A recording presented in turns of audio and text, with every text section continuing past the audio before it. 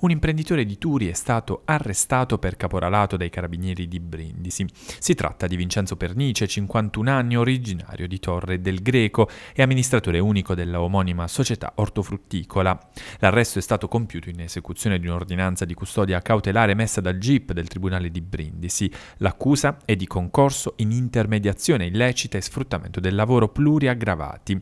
Il provvedimento scaturisce dagli ulteriori approfondimenti investigativi seguiti all'operazione dello scorso 19 giugno, quando nel Brindisino a Villa Castelli furono arrestati quattro presunti caporali.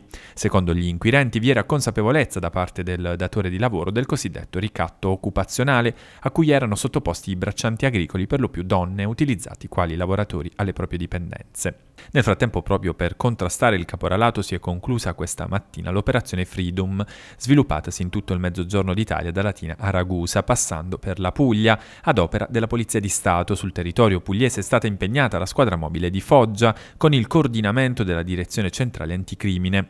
Nel corso dei servizi di controllo sono state identificate 235 persone, tra datori di lavoro e dipendenti, e controllate ben 26 aziende, con l'obiettivo di contrastare in particolare lo sfruttamento di migranti irregolari costretti per pochi euro a lavorare con orari pesantissimi e in condizioni anche igieniche disumane, senza alcun giorno di riposo o altro diritto garantito.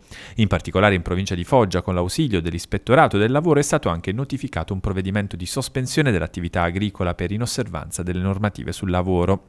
I lavoratori sfruttati provenienti soprattutto da Nigeria e Romania hanno raccontato di aver raggiunto l'Italia alla ricerca di migliori condizioni di vita, trovandosi però a lavorare dalle 6 del mattino fino alle 19 di sera e percependo un compenso di 25 euro giornalieri, appena sufficienti per comprare da mangiare e acquistare qualche vestito. Molti di loro hanno riferito come il caldo insopportabile delle serre provoca loro un costante mal di testa ed un perenne stato di confusione, di cui non si lamentano per la continua minaccia di licenziamento.